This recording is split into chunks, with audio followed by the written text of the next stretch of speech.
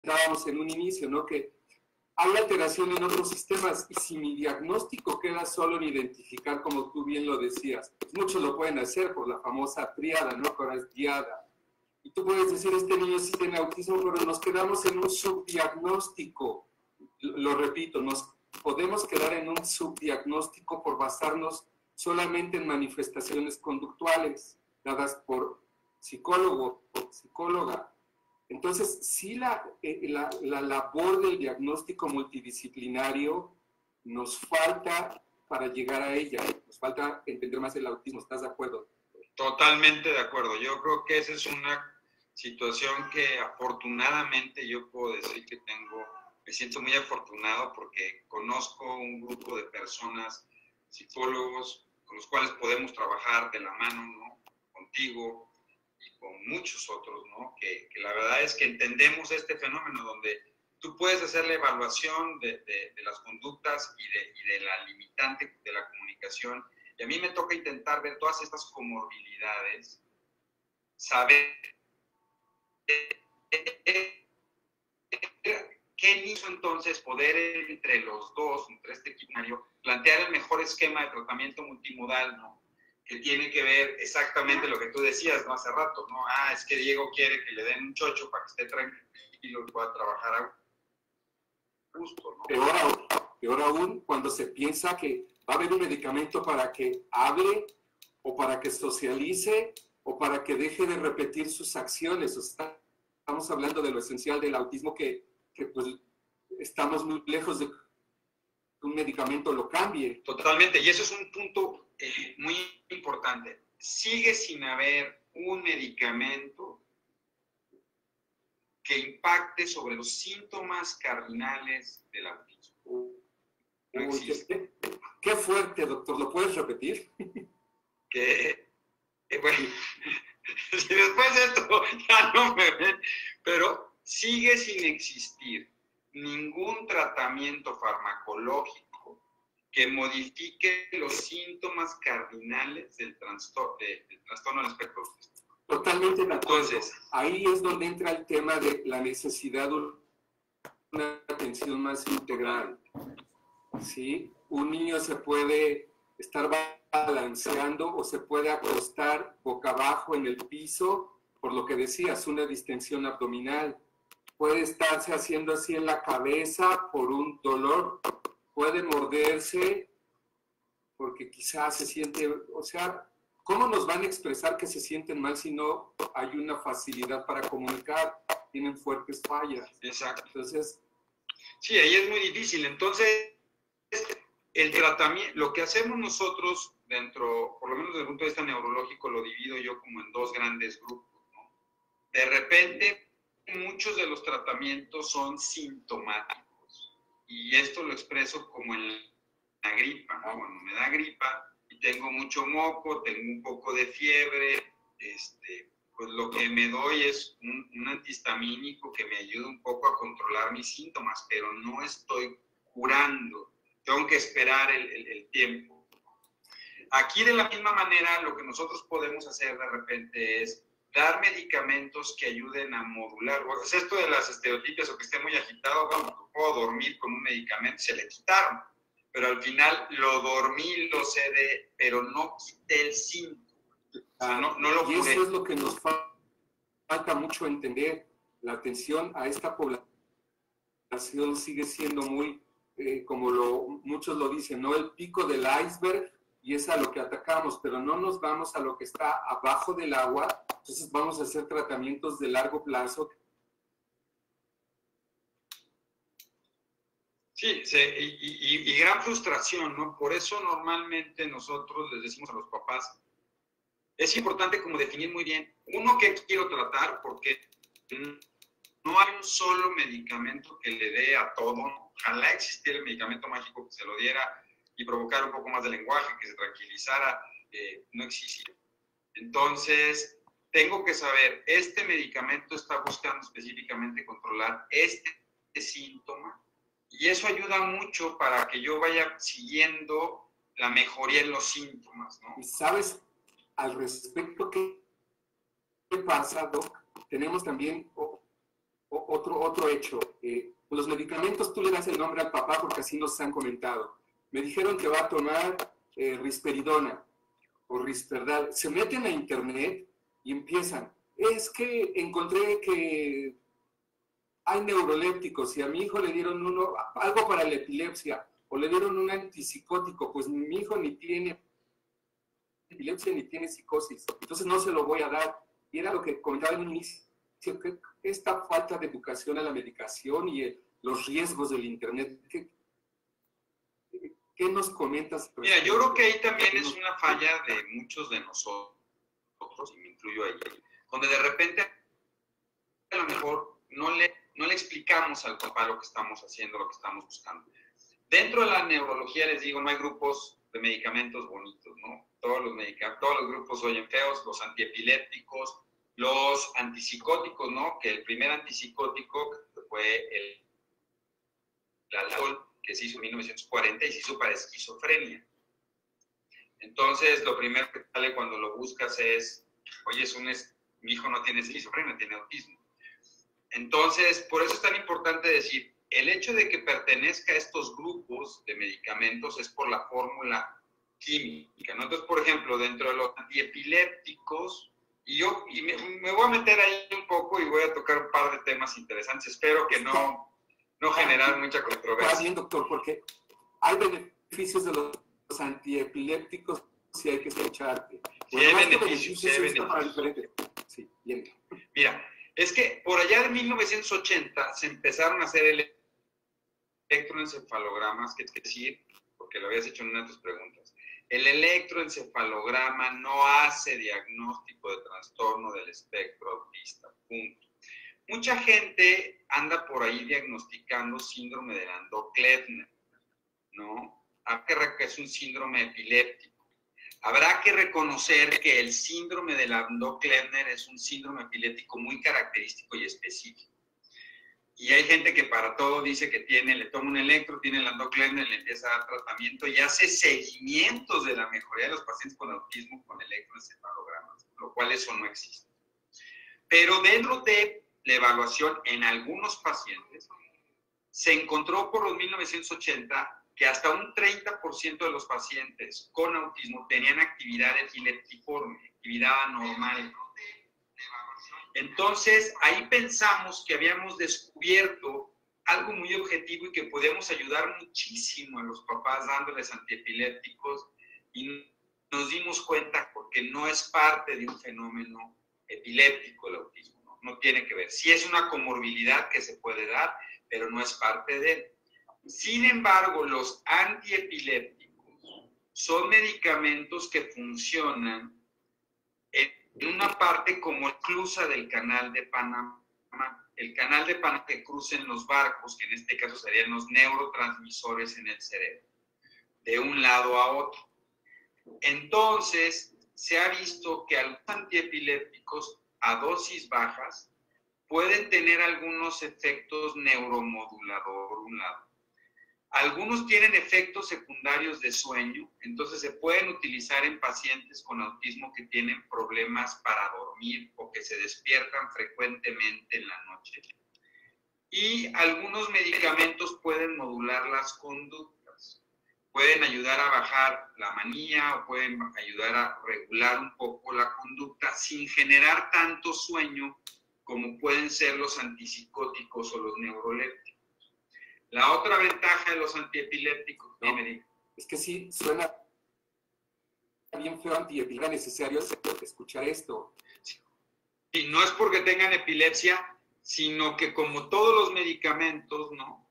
Normalmente tienen otros efectos, ¿no? Otros efectos benéficos. Entonces, los antiepilépticos los usamos por esos efectos. Yo siempre les digo a los papás, le vamos a dar un medicamento para que su hijo duerma mejor, Estamos buscando el efecto secundario del sueño, pero su hijo no tiene epilepsia. Es muy importante. Y puede modular en algunas ocasiones o mejorar algunas Fíjate que es, perdón, esto nos lleva a un tema, a, otro tema y obstáculo, ¿no? Eh, hemos encontrado a padres de niños de dos, tres años, cuatro años, que de verdad escuchan la palabra antiepiléptico y, o sea, ¿desde qué edad hay una edad, eh, o desde que, o sea, el tema con la edad, niños pequeñitos delicados, o desde qué edad. Bueno, ahí podríamos, ese es un tema que lo tocamos, pero bueno, los epilépticos se pueden dar desde el primer día de vida, cuando pacientes que tienen epilepsia. Exacto. Pacientes que tienen epilepsia, pues tenemos recién nacidos que reciben antiepilépticos. En el caso del espectro autista o del autismo, el problema, yo te diría, ahí vamos a entrar en una controversia, es cuál es el momento para establecer el diagnóstico definitivo.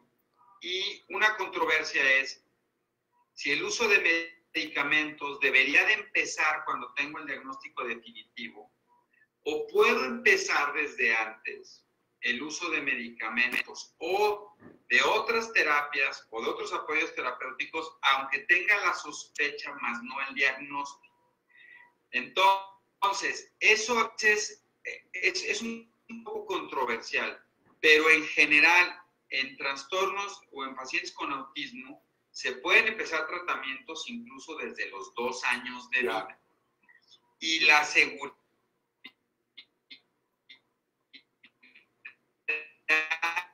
para niños desde muy temprano, desde los dos años de vida. Lo importante es para qué lo estoy dando y también es muy importante decir la dosis que le voy a dar, porque la dosis que ahorita vamos a entrar a eso también, ¿no? Es muy importante. Por ejemplo, muchos papás que ven risperidona, hablando de los antipsicóticos, ¿no? Está la risperidona, la olanzapina, el abrazol, el clopixol, la quetiapina, ¿no? que todo es gigantesco, pertenece a los antipsicóticos.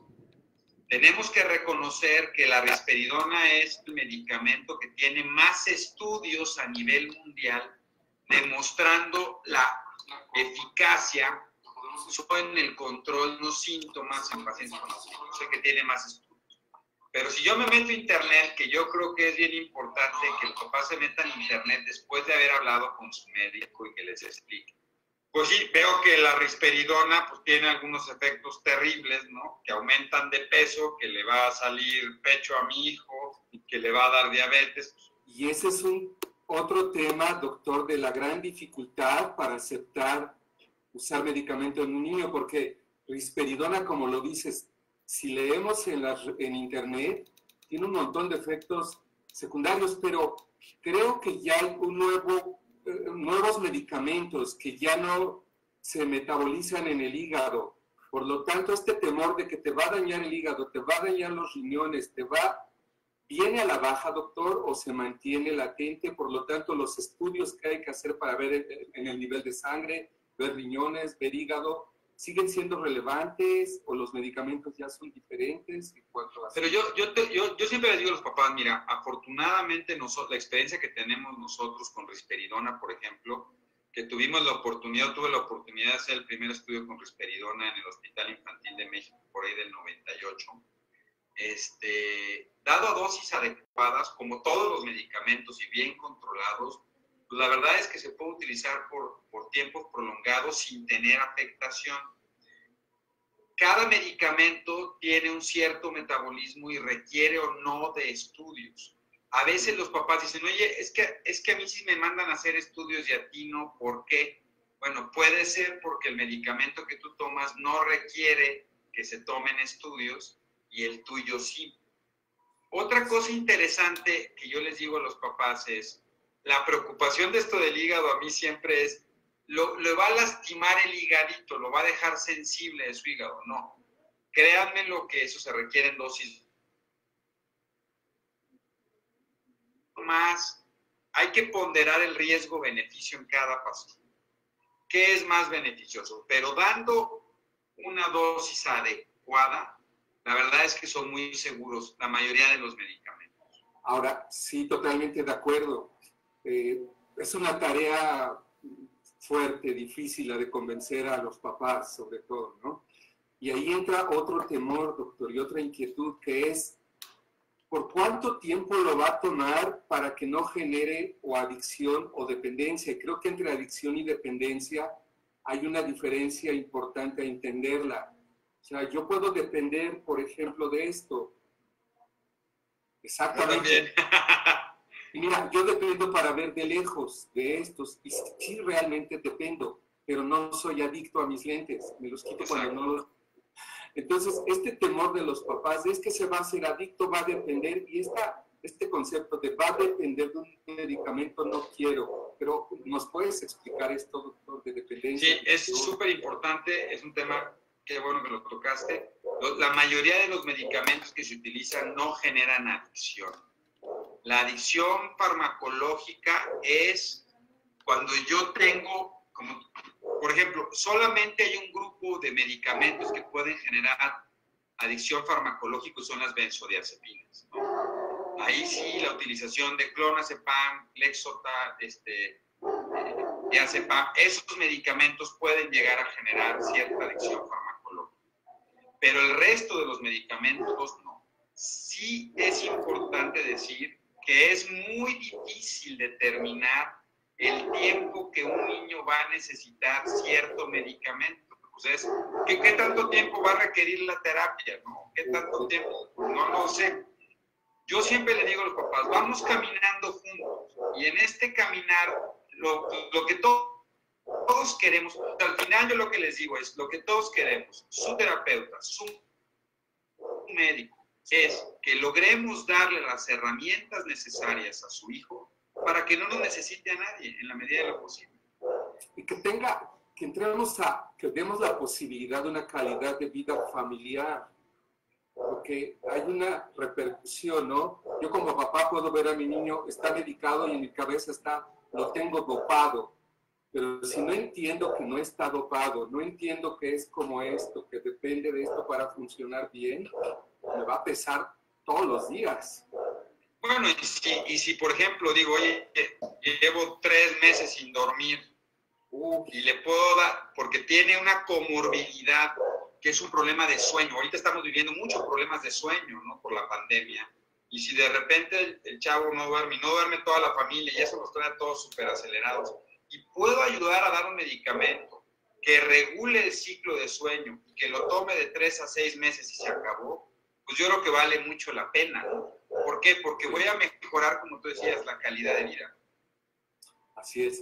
Y esto de la dependencia y del tiempo, doctor, hay, la población de jóvenes y adultos se habla poco, porque pues no es fácil. Jóvenes y adultos con autismo su atención no es fácil. Y para los papás un punto así crítico es cuando vienen, así como el pequeñito, que cuánto tiempo lo va a tomar, se va a hacer dependiente. Los jóvenes o adultos, los papás, te pueden preguntar, pero ¿por qué después de tanto tiempo me dices que necesita medicamento? ¿Se vino abajo? Se, piensa en enfermedad, en que está grave, peor para un adulto, ¿no? No, fíjate, ¿sabes cuál es el problema del medicamento? Y yo creo que eso tenemos la culpa también los ambos grupos, ¿no? Es porque de repente pareciera que cuando te mando al médico para que te dé tratamiento porque ya fracasaste y no puedo controlarlo, y no es cierto. Si le voy a dar un medicamento es para mejorar el funcionamiento, pero no es porque ya fracasó ni el terapeuta ni el padre. Entonces dejo el último recurso que es el medicamento. Porque entonces si lo veo así es, sí, pues sí, le tengo que dar medicamento porque ya la cosa está muy severa, está muy seria y no y nosotros hemos trabajado, tenemos varios pacientes donde podemos ayudar a la atención, eso te ayuda a ti, tú tienes una super repercusión, el chavo mejora mucho y de repente podemos decir, pues ya vamos a quitarle el medicamento porque logramos. Es un trabajo en conjunto y el papá no tiene que entender dos, tres cosas. Ni es por fracaso, ni es porque él no tenga la capacidad de tolerar a su hijo. Eso es bien interesante. Los papás se sienten culpables. Y le tengo que dar medicamento porque no puedo con él. No, no tiene nada que ver con eso. Yo siempre les digo, si mis papás no me hubieran puesto lentes de niño para ver bien en la escuela, no tiene que ver con mi capacidad intelectual. Si no me hubieran puesto lentes, hubiera sido un martirio no ver el pizarrón. no teníamos tablets. Entonces, esto me ayudó mucho. Así es, y justo lo dices bien. La población dentro del espectro, sea niño, joven o adulto, es una población muy vulnerable para un manejo, lo voy a poner así, es serio lo que voy a decir, que frecuentemente es arbitrario y depende de la apreciación personal. Depende mucho de una apreciación personal. Creo que nos falta mucha educación al tema de medicamentos, mucha información actualizada al tema de trastorno de espectro, porque tú ya lo comentaste, es una población bien compleja, los papás también, obviamente. Y, este, ahora, ¿de qué dependemos, doctor, para la decisión porque hay papás que lo preguntan. Al final, ¿quién decide la medicación? O sea, ¿cómo se decide el momento donde ya tienes que medicarlo? Bueno, yo creo que eso sí es un trabajo este, de todos, ¿no? Al final, primero los papás son los que tienen que aceptar el tratamiento y lo tienen que coordinar con el terapeuta y el médico. Y normalmente yo lo que les recomiendo es vayan a ver a un médico y díganle, mi hijo tiene estas características, ¿Usted cree que el tratamiento puede ayudar a mejorar algunos síntomas para mejorar la calidad y el rendimiento de mi hijo? Y sobre eso se toma la decisión. No es, digo, y no hay ningún tratamiento obligatorio, ¿no? Es, es incluso, yo les digo, si tiene un paciente un tumor y lo tengo que operar y no se quiere operar, es su decisión.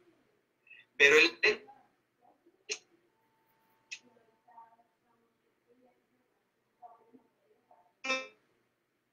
le abre todo un expectativa que pueden ayudarle a mejorar su vida. Y yo creo que eso es súper importante. ¿Pudieras repetirlo, doctor? Porque te congelaste, creo que no congelé. bien.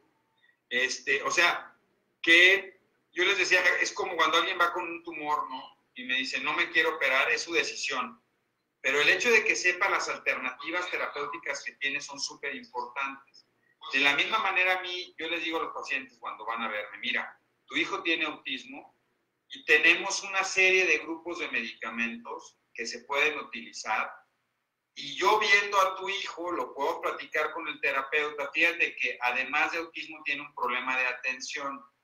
Entonces a lo mejor si tratamos la atención y logramos que se enfoque mejor, tanto el, la terapia como lo que tú haces en casa puede mejorar mucho. Es una alternativa. Y esa información es vital al igual quizá que la información de qué efecto secundario va a poder tener.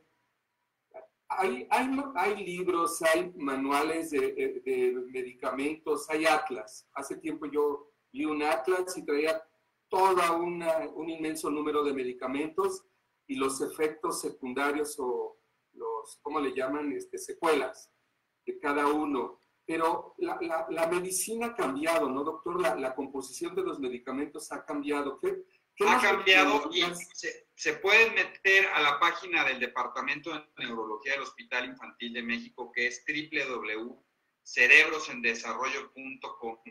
Y tenemos varios de los medicamentos que se utilizan de manera más común, donde vienen los efectos secundarios más frecuentes, ¿no? Que también es importante leer que o sea, la aspirina puede producir gastritis, pero no necesariamente se la produce a todos, ¿no? Exacto. Y si yo leo que la aspirina produce insuficiencia renal en uso crónico porque daña el riñón, pues no quiere decir que todos los que han tomado aspirina durante muchos años tienen insuficiencia renal. Entonces, eso es lo importante como de tomarlo en cuenta. en, Internet aparece todo lo que hay, el, amayerismo, pero es importante hablarlo con su médico, decir, ¿qué es lo más frecuente? ¿Qué tengo que vigilar? Yo le digo a los papás, una gran ventaja es que cuando yo doy un medicamento, por ejemplo, rispedona, sí sé lo que tengo que ir buscando. Entonces, ya sé lo que vamos a vigilar juntos y eso me permite que si empieza a pasar un problema, rápidamente lo decida. Es que hay otro error, doctor, que tenemos este, esta tendencia tan fuerte a generalizar y que tiene estos efectos colaterales no significa que todos lo van a tener, ¿cierto? Cierto, cierto. Entonces, creo que esto de espectro debe de, tenerlo bien claro y, y, evitar generalizar, porque entramos a otro tema. Generalizamos que todo medicamento neurológico le va a hacer daño. Entonces viene el ver tratamientos más naturales, medicamentos naturales y ahí entra el aceite de cannabidiol. de cannabis. Y pues podemos basarnos en que pues también todo lo natural no puede, no todo lo natural es bueno. ¿Qué nos dices al respecto, doctor, con el aceite de cannabidol? Que hay mucha inquietud de los papás porque obviamente piensan, es que eso no, no les va a hacer daño por natural. No tiene... Fíjate que es un tema muy interesante. Me voy a regresar un poco antes porque yo lo veo igual con las terapias. Los médicos nos informamos poco de los diferentes institutos y diferentes terapias que hay. Entonces el papá me dice, oiga, ¿y si le doy mindfulness? Porque a un amigo le dieron y es muy bueno. O le doy RDI, que está el Diego, que es maravilloso. Yo digo, vamos con RDI. O le doy ABA, o le doy Denver o le doy equinoterapia, ¿no? Le sirvió mucho a Toñito. O, lo llevas a Domus, donde va a recibir una atención integral. Integral. vas a pensar que está, ¿cómo? O sea, tanta atención necesita mi hijo. O, llevándolo a Domus se va a resolver porque le fue muy bien a Carlitos. Entonces, esa, eh, ¿quién toma esa decisión? Es una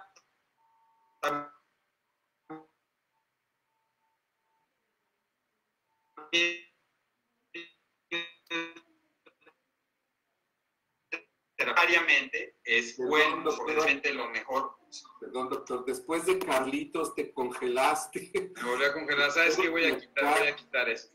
Después de Carlitos, ¿qué pasó? Voy a quitar.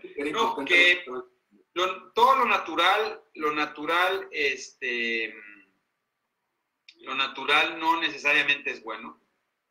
Todavía no hay estudios científicos con el rigor académico que demuestren que el cannabidiol se puede utilizar en pacientes con el espectro. Contundente, no hay. Contundente. Acaba, ya hay estudios para epilepsia, donde en epilepsia, específicamente en síndrome de Lennox-Gastaut, en síndrome de West y en síndrome de Dravet se puede utilizar, ya hay la evidencia. Ahora, eso no quiere decir en autismo entramos mucho en tratamientos experimentales, ¿no? Y esos tratamientos experimentales está el cannabis. Se ha venido teniendo una serie de experiencias personales, institucionales, que ha ido creciendo, pero es una experiencia anecdótica. Ahora, lo hemos transpolado mucho de lo que vivimos con epilepsia al autismo donde en epilepsia en dosis altas, en general, es un medicamento que dado en dosis específicas, tampoco tiene efectos secundarios graves, pero sí los puede tener, sobre todo porque hemos detectado que más del 50% de los pacientes con autismo están tomando CBD. ¿De cuál? Del que les ofrecen. Unos, Sí, perdón, pero ya estamos hablando de que se empieza a generalizar su uso. Sí. Ahora, sabemos que eh, eh, los cannabinoides generan dependencia, doctor. ¿Es la misma dependencia a un medicamento la que se puede... Estoy acá para agarrar mejor internet. Eh, puede generar dependencia el cannabinoide, no los cannabinoides. Ahora, ¿es la misma dependencia a un medicamento o, de plano se puede considerar una que pueda generar una adicción? Eh, no, no, bueno, no se sabe. Ya. No se sabe. Por lo menos se sabe que puede generar abuso. Eh, no necesariamente eh, que genere adicción tomado. Sabemos que fumado evidentemente sí favorece adicción. Pues la otra es, hay dos tipos de cannabinoide el que tiene puro cannabinoide y el que tiene cannabinoide más tetrahidrocannabinoide, que es el THC. Ese es el malo. Ese es el psicoactivo. Entonces, en general, lo que se viene utilizando más es puro CBD con o, sin THC.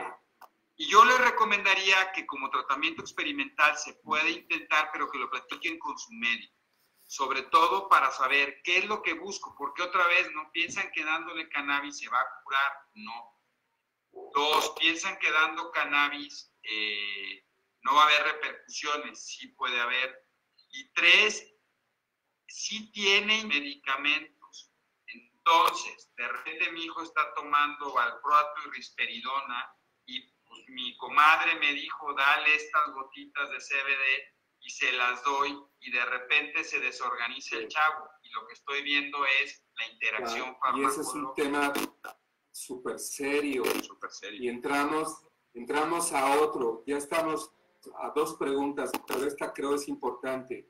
Eh, ¿Hasta qué número de medicamentos? Porque hay papás que nos dicen, ya está, tomando sus medicamentos, por esto que decías, que les van aumentando y aumentando. ¿Hasta cuántos medicamentos es, eh, vamos, cuándo tendríamos que prender nuestras luces naranjas o rojas por el número de medicamentos que toma un niño?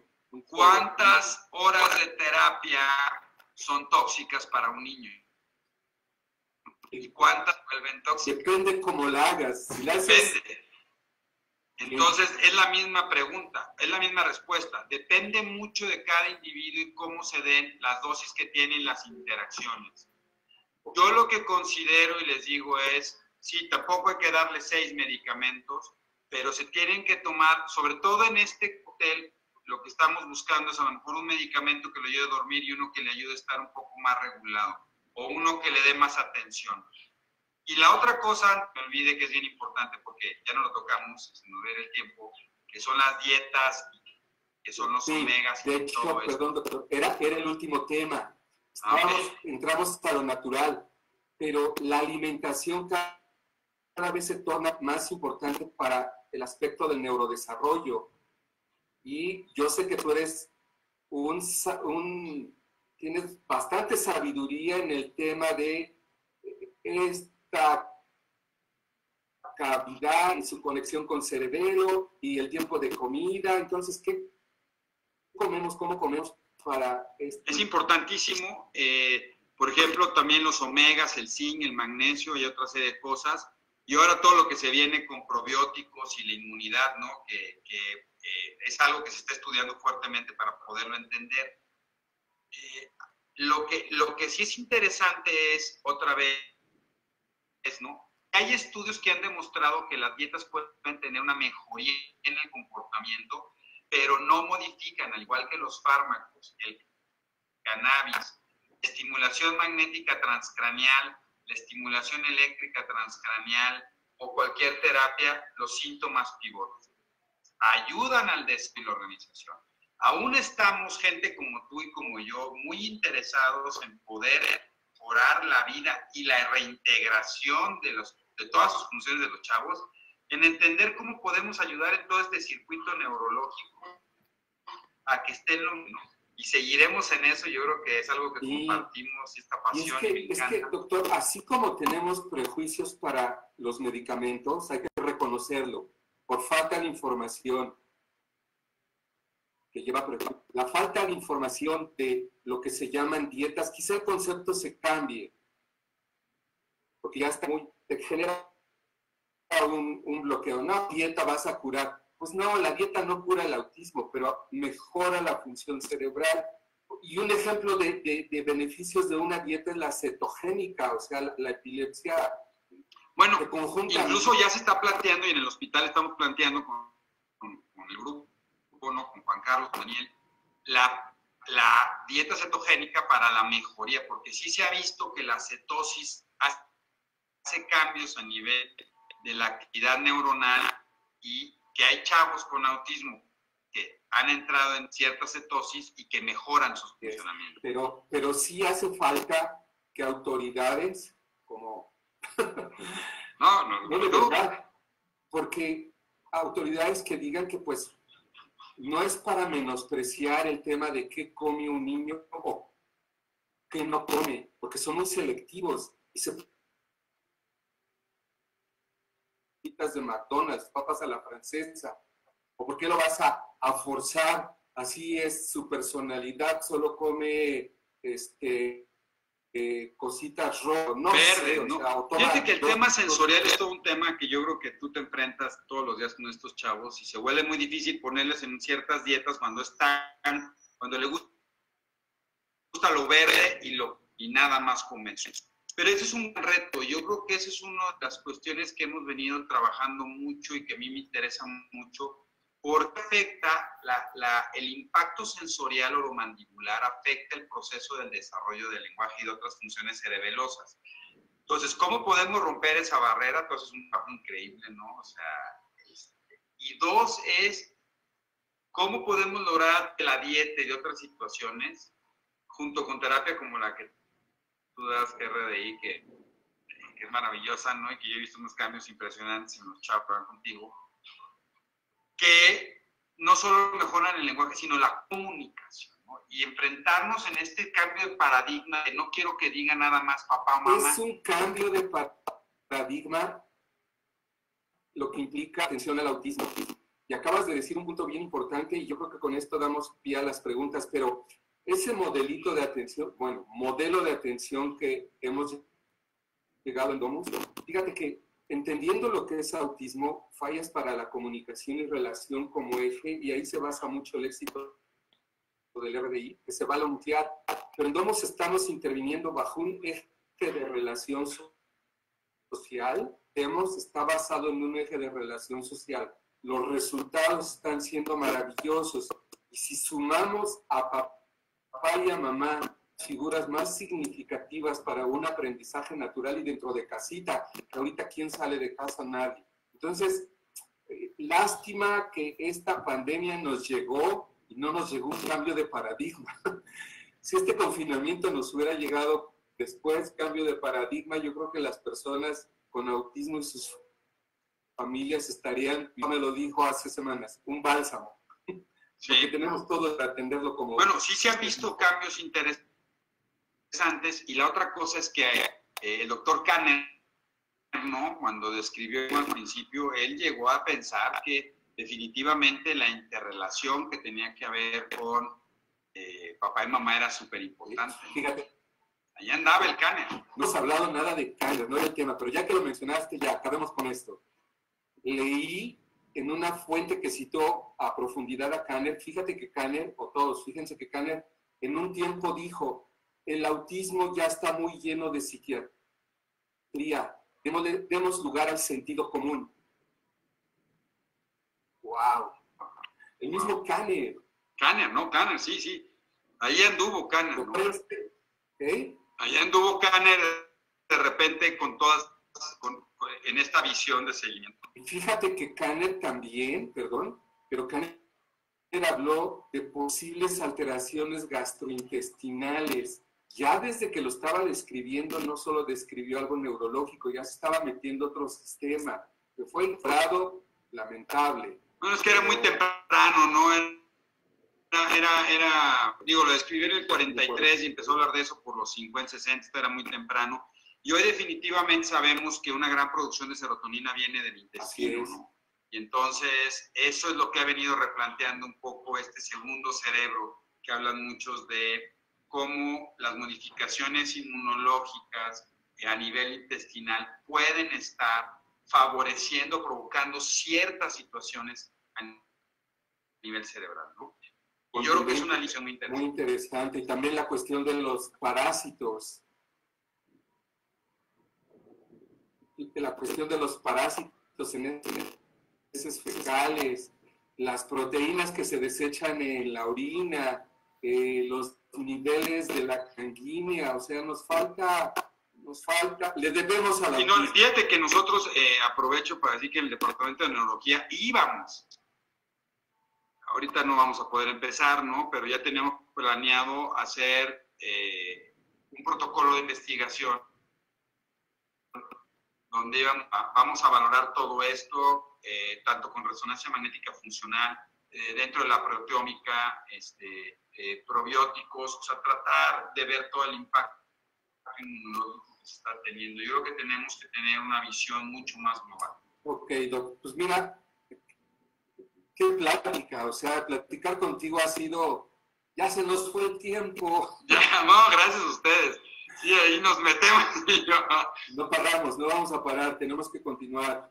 Este, tenemos unas preguntas, doctor, que creo que algunas ya se contestaron, pero si quieres agregar un poco, voy a dar prioridad, a, obviamente, a las, de, a las de los papás, sin, sin menosprecio a nuestros colegas, pero ellos son los que tienen todos los días esto. ¿Para qué sirve la oxcarbazepina?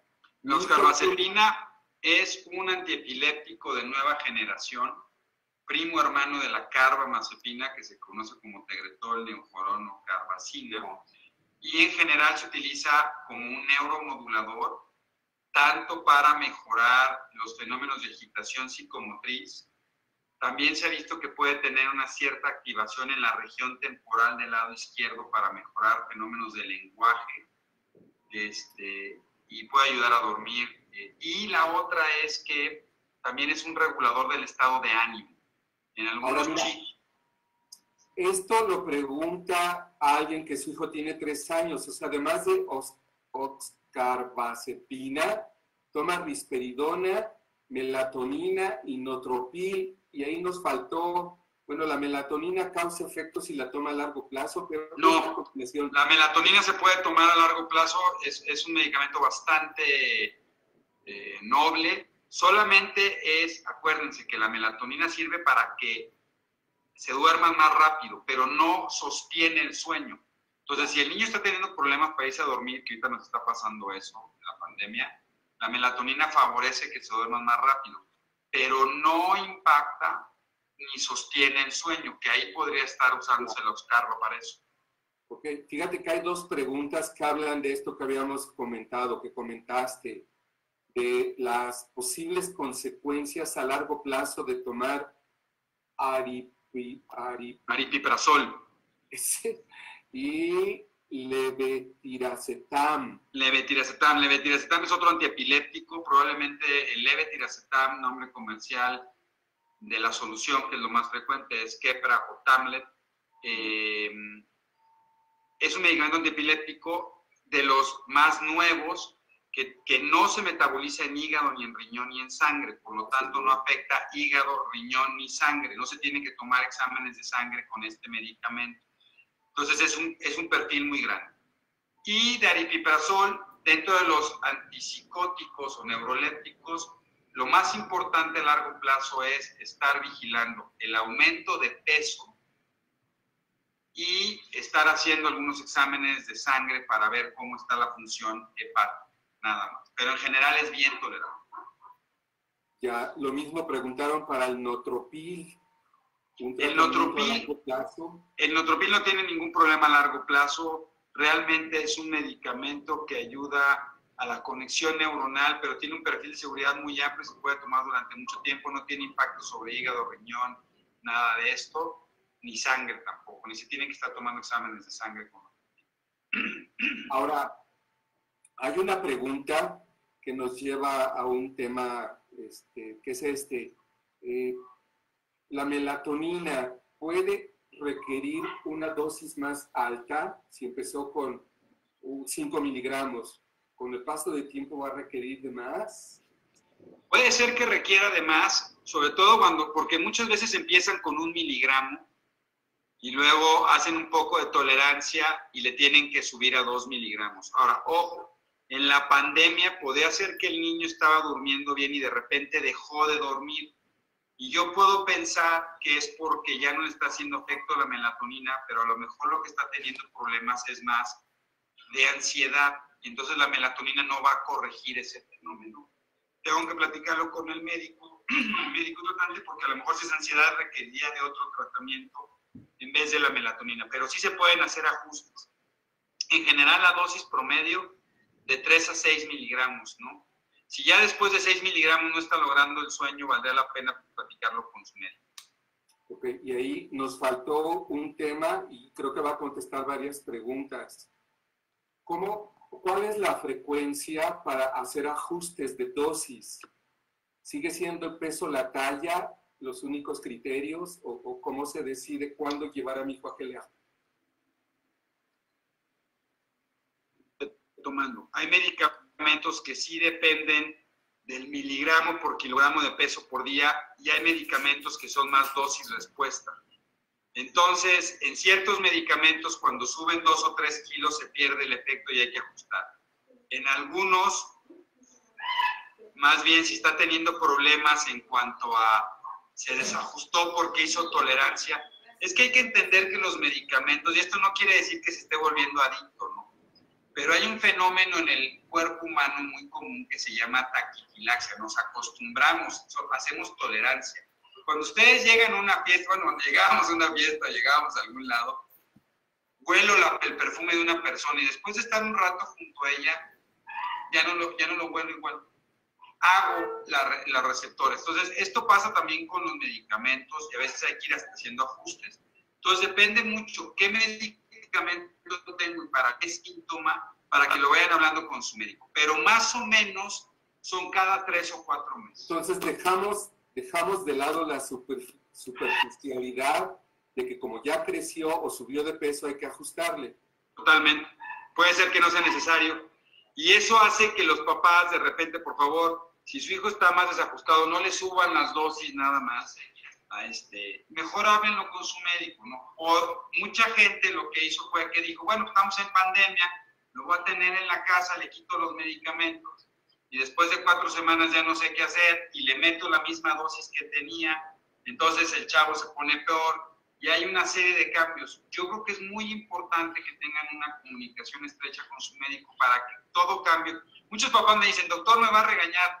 Y yo le digo, ¿cómo lo voy a regañar? No, pues es su hijo. Pero téngame la confianza de comunicarse conmigo y lo platicamos. Y yo creo que si usted tiene un consejo de alguien que algo sabe un poquito, pues le, le ayudo a saber cómo tomar esa decisión. Claro. Entonces es bien importante, no, no nos vamos a regañar, no nos enojamos, no nada al contrario, somos parte del equipo que ustedes han decidido que seamos ustedes y pues apóyense nosotros para tomar esas decisiones. Sí, totalmente de acuerdo, porque también como iniciamos hablando de la medicina está muy expuesta a la cultura y hay una cultura de que si me medicas es cura rápida y si no me cura rápida no sirvió. Exacto. Y entonces cuando los papás o nosotros empezamos, empiezas a modificar, porque como no tienes una cura rápida, empiezas a hacer un abuso.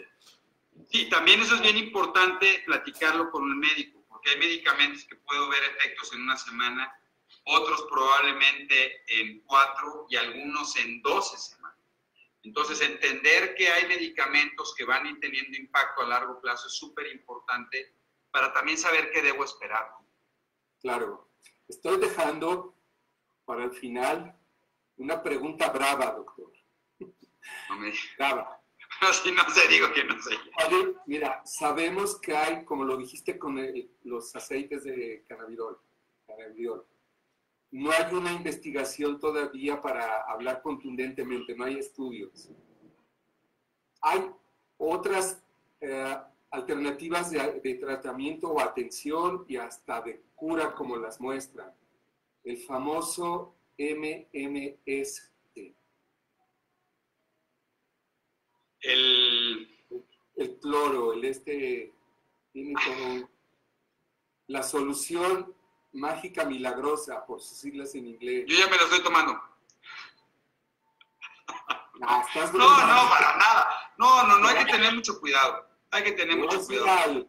Corona Trooper que te ponga en orden. ¿Cómo que sí, no, no, no, no, no, no, por favor que no haga eso la gente de estar tomando este, cosas. Es que es cloro, es hipoclorito, me parece, hipoclorito, o sea... Por favor.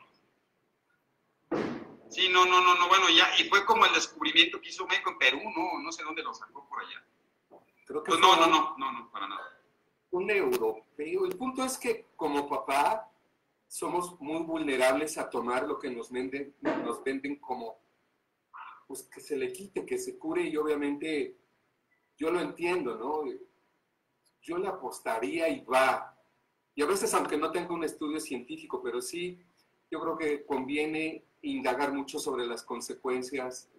Por ejemplo, esto del MMS, pues tan solo indagar qué pasa con el cloro en el cuerpo. No, y, que puede ser muy peligroso, ¿eh? puede intoxicar y puede generar eh, reacciones importantes y daños a largo plazo, o sea, no es tampoco inocuo.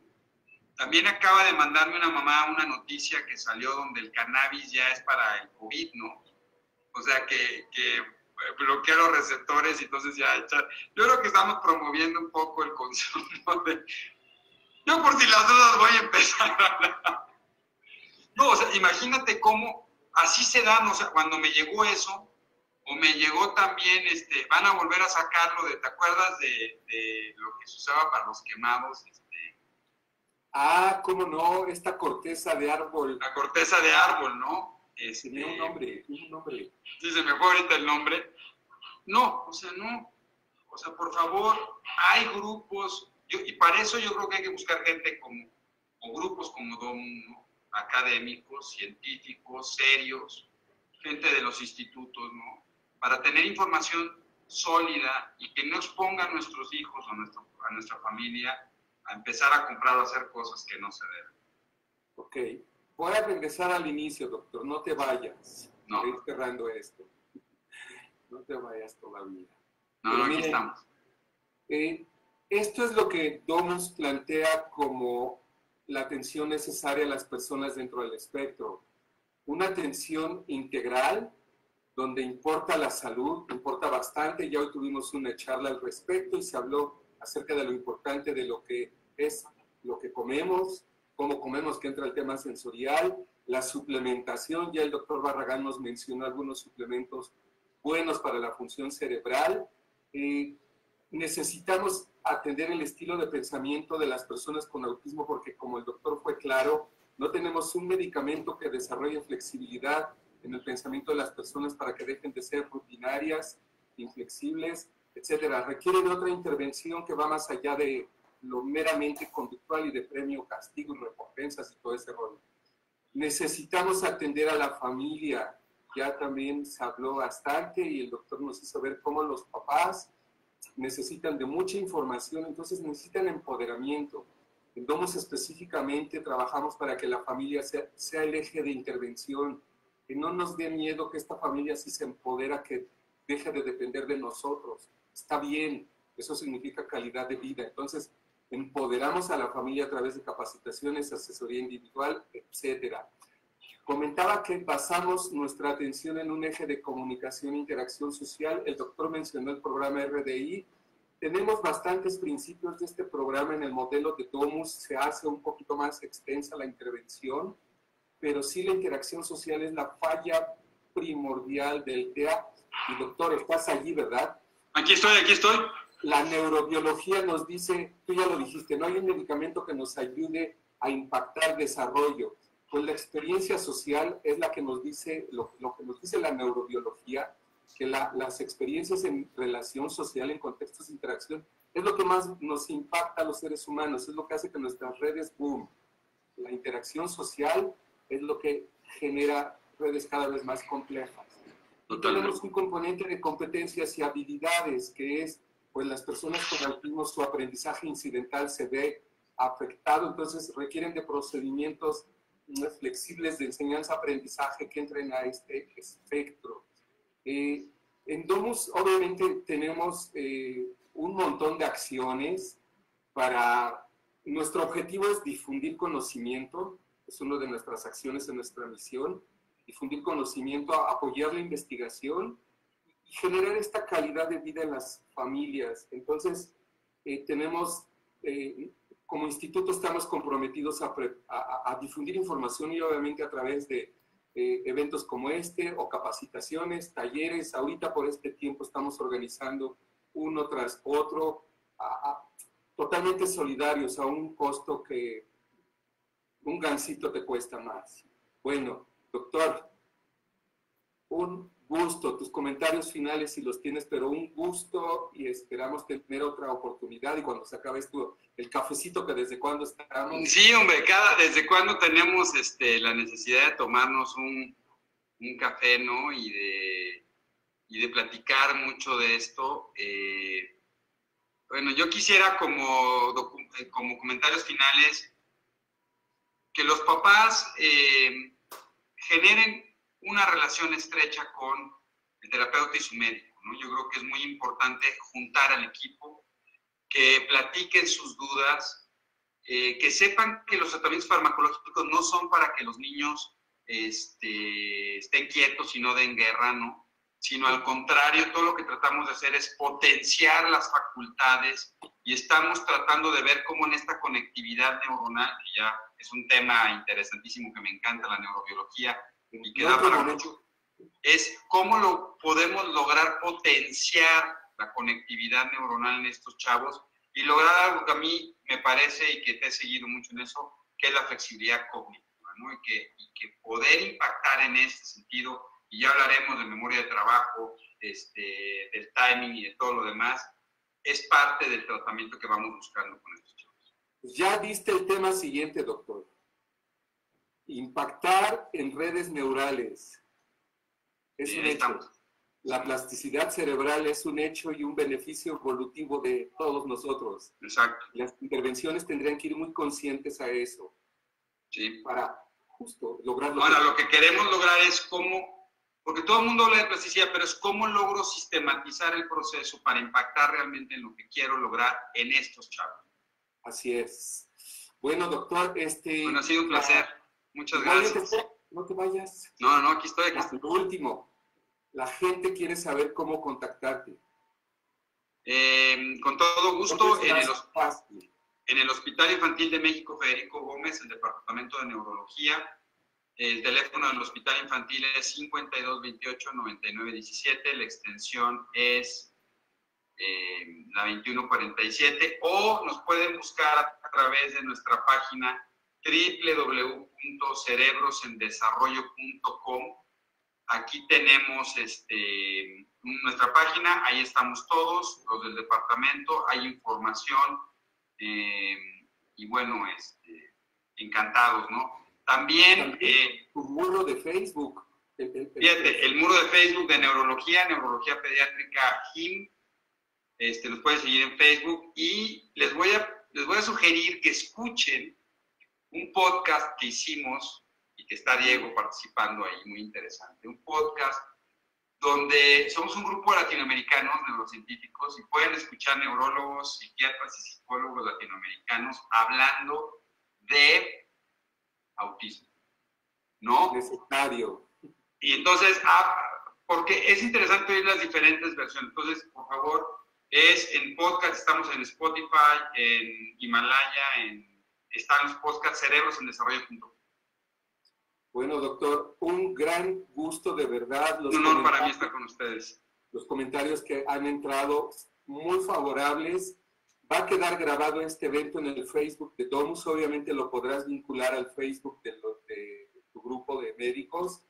Y agradecemos a todos los que estuvieron presentes en este tema tan, tan importante y que requiere, requiere de, mucho, de mucho cambio de paradigma y bajar prejuicios. Muchísimas gracias, Diego, por invitarme. Ha sido un placer y un honor estar con ustedes.